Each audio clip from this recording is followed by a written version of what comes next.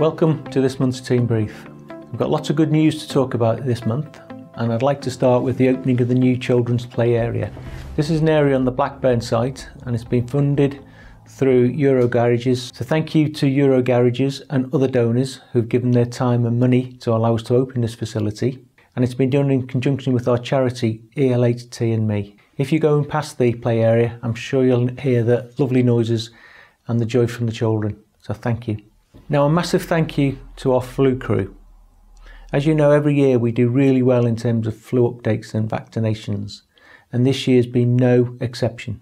This year, 93.6% of our staff have had the vaccination, and that makes us the second highest trust in the country.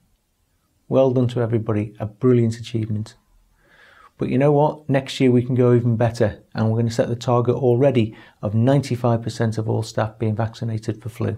The Trust, along with Blackburn with Darwen Borough Council, have supported a number of events recently to promote sustainability, and that's with swapping cars for walking and a number of LED bicycle rides. At these rides, staff or anybody who's involved can go along and also get maintenance for their bikes.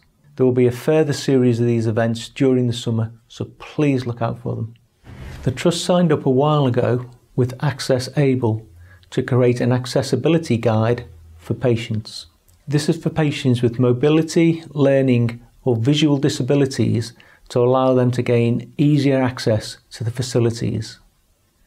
This has originally been rolled out on our Burnley and Blackburn sites, but over the coming months will also be rolled out over our three community hospital sites. AccessAble have also now formally launched their app, which will make accessibility onto sites even easier. This new app can be accessed through Android and Apple stores, so please look out for it. So, as we come to the end of our financial year, I'd just like to say thank you to all staff at ELHT.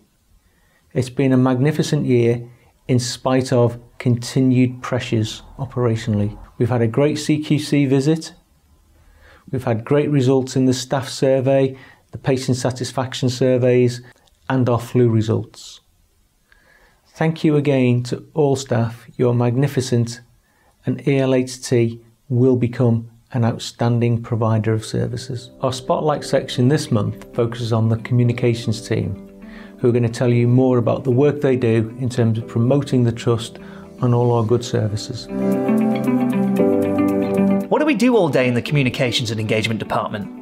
Well, because of the work we do here in communications, we achieve an average of over 45,000 internet visitors on the Trust's official website, which gives us over 120,000 page views.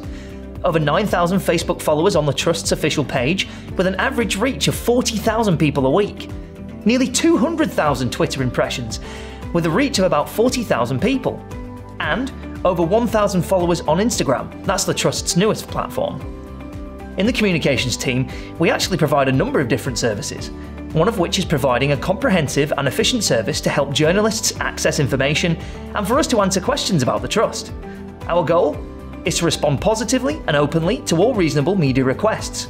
We're also keen to promote the work of the Trust in the media and actively promote exciting and groundbreaking developments too.